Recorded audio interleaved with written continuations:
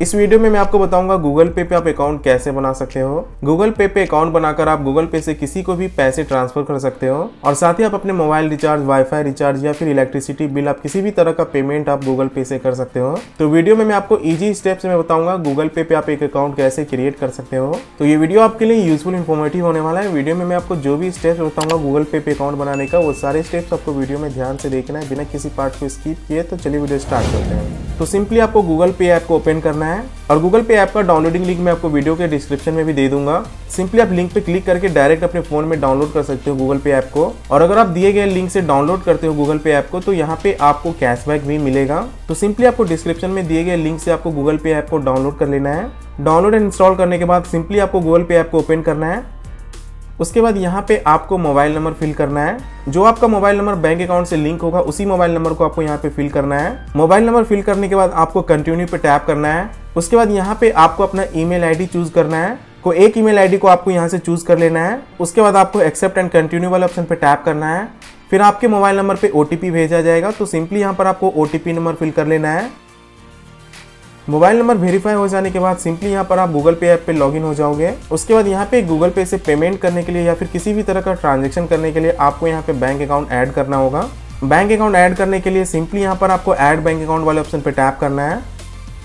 उसके बाद यहाँ पे आपको बैंक चूज़ करना है, जिस भी बैंक में आपका अकाउंट होगा। सिंपली यहाँ से आपको अपना बैंक चूज़ कर लेना है। उसके बाद यहाँ पे आपको कंटिन्यू वाले ऑप्शन पे टैप करना है।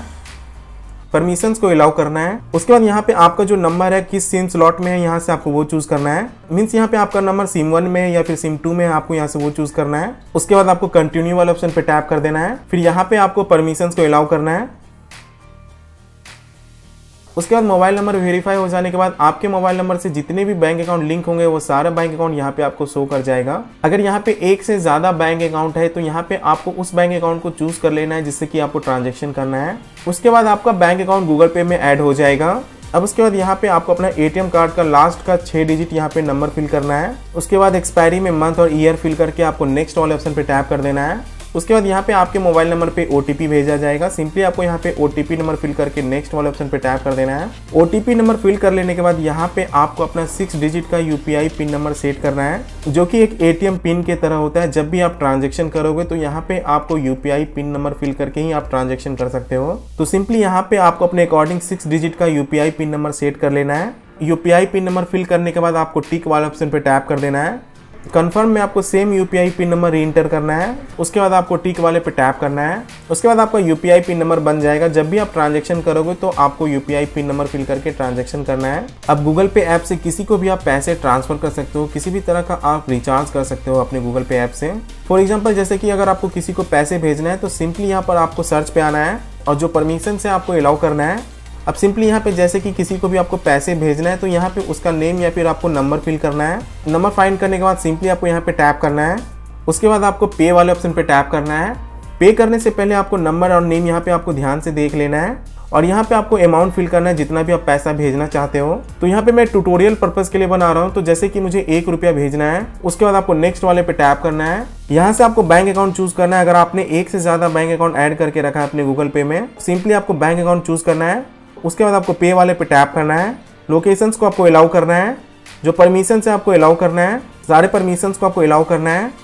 उसके बाद यहाँ पे आपको अपना सिक्स डिजिट का यूपीआई पिन नंबर फिल करना है। यूपीआई पिन नंबर फिल करने के बाद आपको टिक पे टैप करना है। उसके बाद जो पैसा होगा, उस अकाउंट में ट्रांसफ़र हो जाएगा। और यहाँ से आप अपने अकाउंट का बैंक बैलेंस भी चेक कर सकते हो। सिंपली आपको नीचे की तरफ़ स्क्रॉल करना है। यहाँ पे आपको चेक बैलेंस वाले ऑप्शन पे टैप करना है। अपना सिक्स डिजिट का यूपीआई पिन नंबर फिल करके यहाँ पे आप अपना बैंक बैलेंस चेक कर सकते हो। तो इस तरीके से आप गूगल पे में अकाउंट बना के आप किसी को भी पैसे ट्रांसफ़र कर सकते हो। आई होप कि मैंने आपको वीडियो में जो भी स्टेप्स है गूगल पे में अकाउंट कैसे बनाया जाता है, वो सारे स्टेप्स आपको वीडियो में समझ में आ गया होगा। और अगर आपको गूगल पे में अकाउंट बनाने में कोई प्रॉब्लम हो रही है तो आप हमें कमेंट बॉक्स में कमेंट करके पूछ सकते हो। अगर आप अपना गूगल पे का यूपीआई पिन नंबर भूल गए तो इसे कैसे पता किया जाता है? इस पर मैंने सेपरेट वीडियो बनाया हुआ है तो सिंपली आप ऊपर आई बटन पे क्लिक करके वीडियो को चेकआउट कर सकते हो। तो उम्मीद करता हूँ आपको ये वीडियो पसंद आया होगा। इस वीडियो के अलावा अगर आपके पास किसी भी तरह का क्वेरीज को डाउट है तो भी आप हमें कमेंट बॉक्स में कमेंट करके पूछ सकते हैं। और ये वीडियो आपके लिए यूजफुल इन्फॉर्मेटिव रहा तो वीडियो को लाइक करें। चैनल पर नए हो तो चैनल को भी सब्सक्राइब करिए।